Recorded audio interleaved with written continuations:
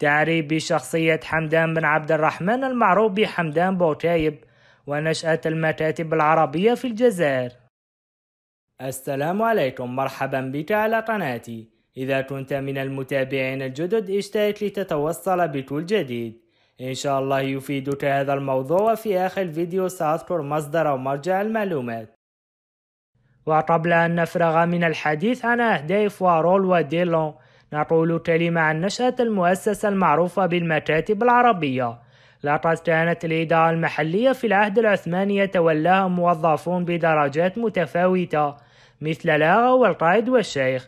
وكان الواسطة العليا بين الحكومة وأولئك الموظفين هو آغا العرب الذي كان في مقام وزير الداخلية والحربية تقريبا. وعند الاحتلال اعتمد الفرنسيون على وساطة اليهود بينهم وبين القادة الجزائريين. وكان في ذلك ما فيه من الأخطاء والمظالم وسوء التفاهم.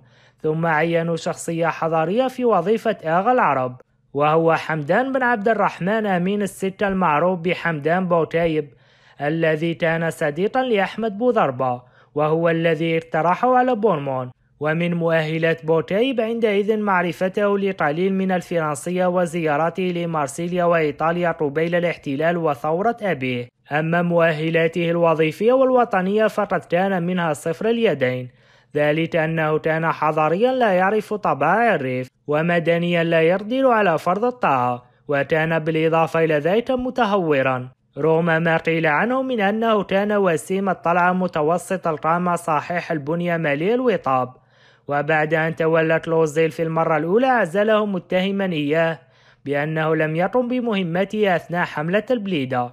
فذهب بوركايب إلى فرنسا وتزوج هناك ولم يقم بدور سياسي لصالح بلاده من المنفى مثل زميله حمدان خوجة أو حتى صديقه بوضربة قبل وصول كلوزيل ثانية إلى الجزائر تولى الجنرال دالوند حكم الجزائر بالنيابة.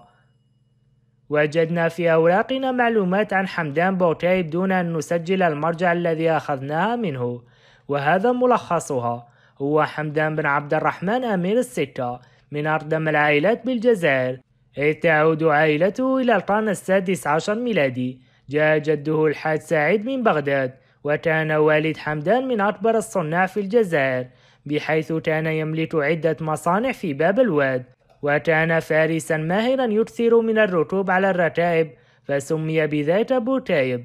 وكانت له دار في شارع القصبة رقم خمسة تسمى دار الركايب وكان ابنه حمدان يتمتع بالصفات التي ذكرناها سابقا. وكان كثير الاطلاع على أحوال أوروبا بعد زياراته المتكررة لها. وقد اشتهر حمدان بالفروسية منذ صغره. وبالجسارة حتى أنه أنقذ وهو في الثانية عشر من عمره. شخصا كانت رأسه في حبل المشنقة غير مبالي بالخطر الذي يتهدده. وأثناء إحدى زياراته لمارسيليا قبل الاحتلال.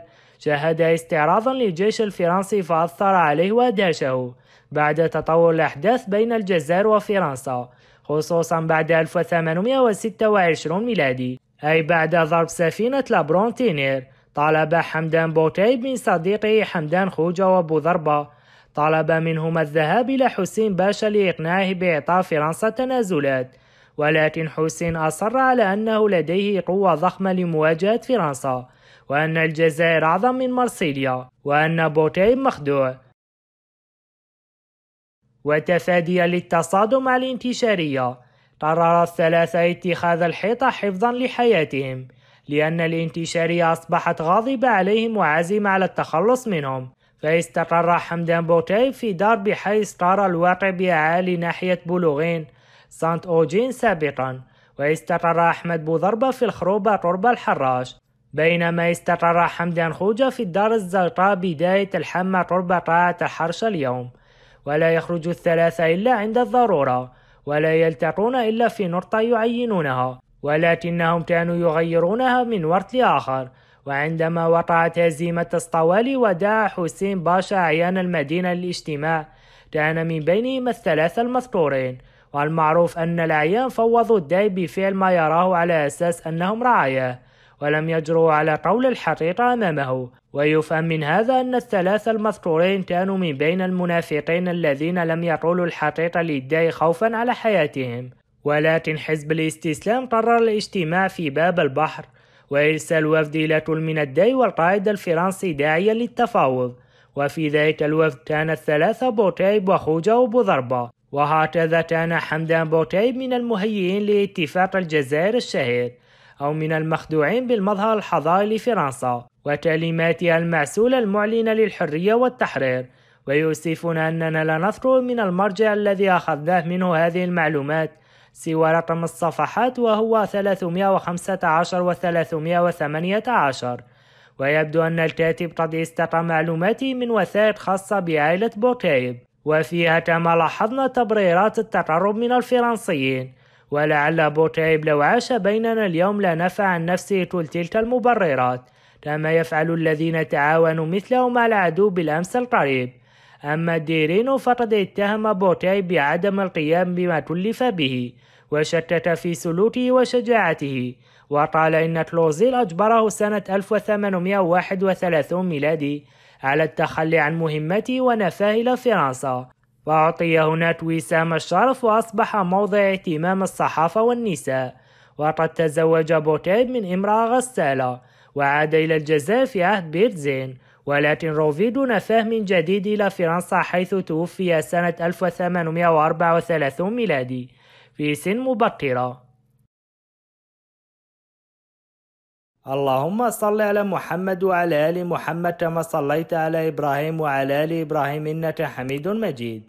اللهم بارك على محمد وعلى آل محمد كما باركت على إبراهيم وعلى آل إبراهيم إنك حميد مجيد. اللهم صل على محمد وعلى آل محمد كما صليت على إبراهيم وعلى آل إبراهيم إنك حميد مجيد. اللهم بارك على محمد وعلى آل محمد كما باركت على إبراهيم وعلى آل إبراهيم إنك حميد مجيد.